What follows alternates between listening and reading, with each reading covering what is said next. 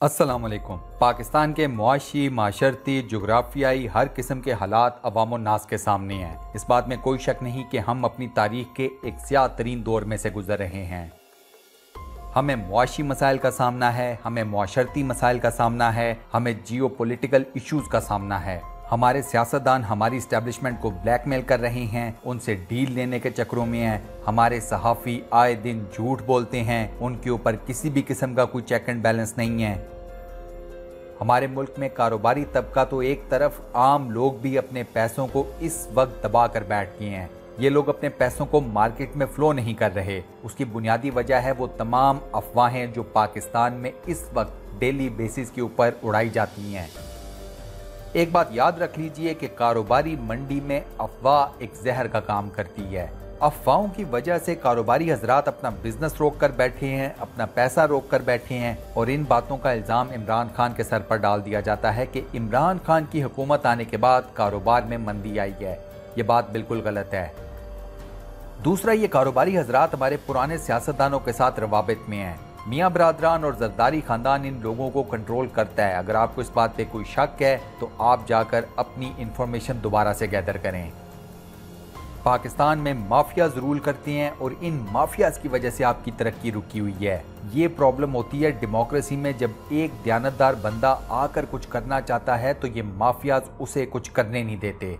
मियाँ शहबाज शरीफ की तरफ़ से इस्टेब्लिशमेंट को ये पैगाम दिया गया है कि नवाज़ शरीफ और मरियम नवाज़ को मैं डील के लिए राज़ी कर लूँगा, अगर आप लोग इसके बदले मुझे पंजाब की हुकूमत दे दें। वीडियो में आगे बढ़ने से पहले सब्सक्राइब के बटन पर क्लिक कर दें, साथ बने बेल के आइकन को प्रेस करके ऑल को प्रेस कर दें। दोस्तों एक एक करके सारे पॉइंट कवर करूँगा जिनके ऊपर शुरू में बात की है। सबसे पहले कारोबारी तबका। जनरल कमर बाजवा के सामने पाकिस्तान की बिज़नेस कम्युनिटी के तमाम बड़े नाम बैठे। इन लोगों ने अपने रोने रोए। सबसे मेन इशू इनका है शनाख्ती कार्ड वाली शर्त जो इमरान खान की हुकूमत ने आयद की हुई है। बॉटम लाइन ये, जनरल कमर जावेद बाजवा की तरफ़ से इनसे एक सवाल पूछा गया। वो बात यह है कि चाइना ने 12 मिलियन डॉलर्स की गुड्स या सामान पाकिस्तान एक्सपोर्ट किया। पाकिस्तान के अंदर उसी सामान की इंपोर्ट का रेट 6 मिलियन डॉलर्स था। जनरल साहब ने सिर्फ़ इतना सा सवाल पूछा कि 6 मिलियन डॉलर्स का टैक्स क्यों छुपाया गया? पाकिस्तान के बड़े बड़े बिज़नेस टाइकोन्स के सर नीचे हो गए थे ये सवाल सुनकर। हलाल कमाने वाला ताजर आज भी हलाल कमा रहा है और ये ताजर सोशल मीडिया पर आकर कई मरतबा ये बता चुके हैं कि मौजूदा हालात में भी पैसे ठीक ठाक कमाए जा रहे हैं। उन लोगों के बिजनेसेस के ऊपर कोई बहुत बड़ा फ़र्क नहीं पड़ा। उतना तो बिल्कुल नहीं पड़ा जितने के रोने रोए जाते हैं। दूसरी मेन बात, शहबाज शरीफ का इस्टेबलिशमेंट को ये पैगाम पहुंचवाना कि वो अगर उन्हें पंजाब के वज़ीर अला के तौर पर वापस ले आएँ तो शहबाज शरीफ अपने बड़े भाई नवाज़ शरीफ और मरियम नवाज़ के साथ डील के मामला तय कर सकते हैं। ये बात करने वाला कोई और नहीं, बल्कि पाकिस्तान के एक मुमताज़ सहाफ़ी हारून रशीद हैं। ये है कि मौलाना फजल रहमान को इस्टेब्लिशमेंट की थपकी दी जा रही है। इस थ्योरी की जो दलील दी जाती है, वो ये है कि एहतसाब के ऊपर इमरान खान और इस्टेब्लिशमेंट के एहतसाब के अमल के ऊपर अंदाज फ़िक्र मुख्तलिफ़ है। इस्टेब्लिशमेंट ये चाहती है कि नवाज़ शरीफ और जरदारी से कुछ लो और कुछ दो की बेस के ऊपर मामला तय कर लिए जाएँ। नवाज़ शरीफ, मरियम नवाज़ आसिफ अली जरदारी, इनके ख़ानदान, इन लोगों को बाहर भेज दिया जाए एक अरसे के लिए। पाकिस्तान की सियासत से एक टाइम पीरियड के लिए इन लोगों को आउट कर दिया जाए। इससे होगा क्या कि मुल्क में सुकून और करार आ जाएगा? बेयकीनी की कैफियत का खात्मा हो जाएगा। मीशत का पहिया कदरे तेज़ी के साथ चलना शुरू हो जाएगा। ये तमाम बातें भी वो अफवाहें हैं जो इस वक्त पाकिस्तान के अंदर गर्दिश कर रही हैं। पाकिस्तान के मीडिया के ऊपर इन अफवाहों को लेकर डिबेट्स होती हैं।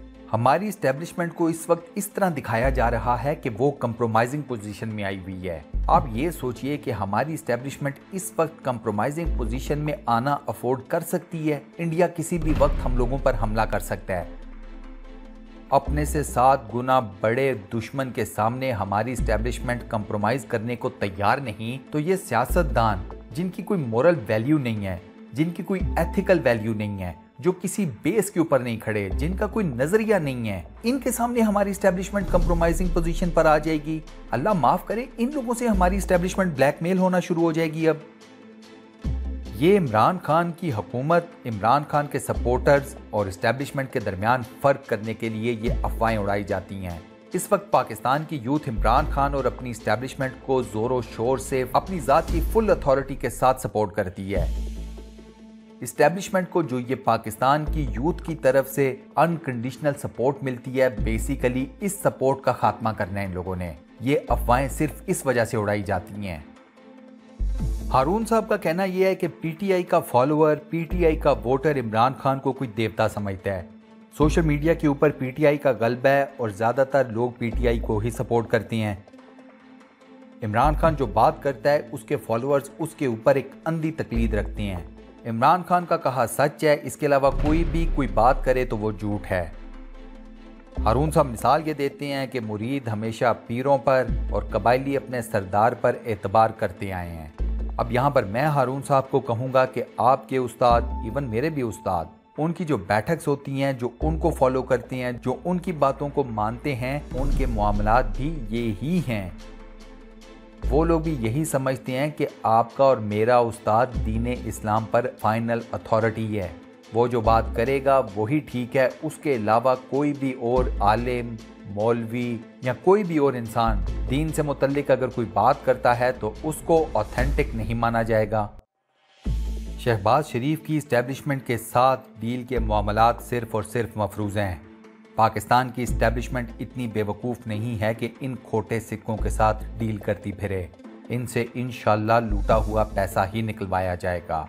जहाँ तक बात रह गई मौलाना फजल रहमान के धरने की तो इसके पीछे इस्टेब्लिशमेंट का कोई हाथ नहीं है। ये धरना इमरान खान की हुकूमत के लिए बिल्कुल ख़तरनाक नहीं साबित होगा। हामिद मीर ने तो आज यहाँ तक कह दिया कि मौलाना फजल रहमान इमरान खान को तुन कर रख देंगे। हामिद मीर साहब, ये तो वक्त बताएगा कि कौन किसको तुनता है। इस दुनिया का ये उसूल है कि नेक, दयानतदार फ़र्ज़ शनास और अल्लाह से डरने वाले लोगों ने कभी बड़ी बड़ी सल्तनतें फतह नहीं की। उन्होंने कोई बहुत बड़ा अरूज हासिल नहीं किया, माँ सिवाय चंद के। लेकिन इन तमाम लोगों ने कम अज़ कम एक काम ज़रूर कर लिया, अपने रब के आगे आखरत के लिए सुरखरू हो गए। ये दुनिया आज नहीं तो कल ख़त्म हो जाएगी और हम सब अल्लाह के हजूर खड़े होंगे। उस वक्त पता लगेगा कि कौन असल में दुनिया में क्या करके आया है। असल कामयाबी किसके हाथ आई? नवाज़ शरीफ अभी तक खुद फरेबी का शिकार है। उसकी बेटी मरियम नवाज़ में नखुवत और नफरत के अलावा कुछ मौजूद नहीं। शहबाज शरीफ पाकिस्तान मुस्लिम लीग में वो अथॉरिटी होल्ड ही नहीं करता कि वो इस्टेब्लिशमेंट के साथ जाकर डील करता फिरे।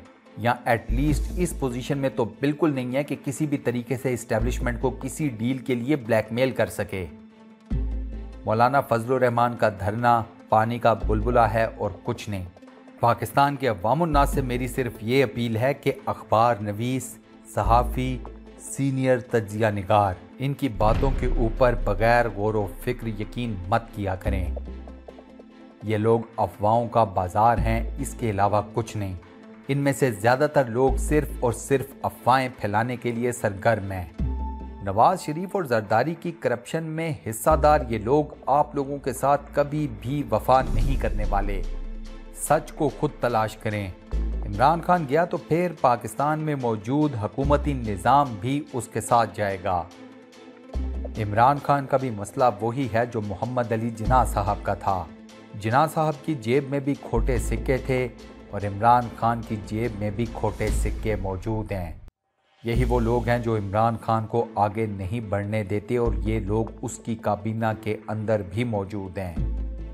दोस्तों, क्या आप लोग मेरी इस बात से इतफाक करते हैं कि इमरान खान की जेब में भी खोटे सिक्के मौजूद हैं? आप लोगों का जो भी जवाब हो, मुझे कमेंट सेक्शन में ज़रूर बताइएगा। इस वीडियो को लाइक और अपने व्हाट्सएप, फेसबुक, ट्विटर और दीगर सोशल मीडिया अकाउंट्स पर शेयर करना मत भूलिएगा। जजाकल्ला इन अगली वीडियो में आप दोस्तों से एक बार फिर मुलाकात होगी। तब तक के लिए अल्लाह हाफिज़।